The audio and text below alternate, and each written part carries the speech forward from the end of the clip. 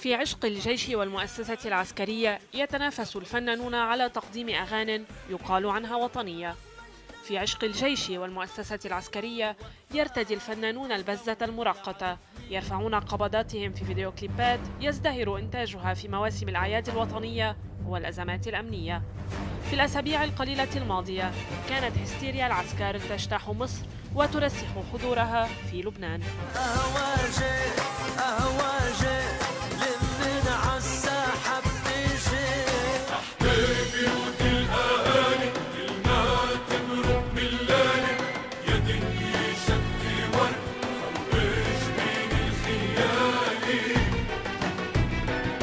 بعد معارك عبرة وقبلها عرسال طافت على السطح كمية من التصريحات والأغاني الداعمة للجيش لتتوج طبعا بالحملة الأخيرة الداعية للمشاركة في تظاهرة الأول من آب تحت عنوان انت فصل نحن من البث وإن كان الجيش اللبناني يفصل والشعب يلبس فأن عبد الفتاح السيسي معبود الجماهير المصرية أو قسم منها يلعب منفردا على الساحة يلعب على وقع تصفيق المغنين والممثلين.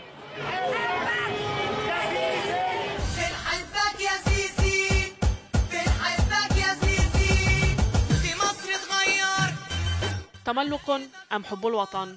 فن ملتزم أم مبايعة؟ لا نعرف. لكننا نعرف طبعا أن الأيام المقبلة ستحمل الكثير من القبضات المرفوعة والبزات المرقطة.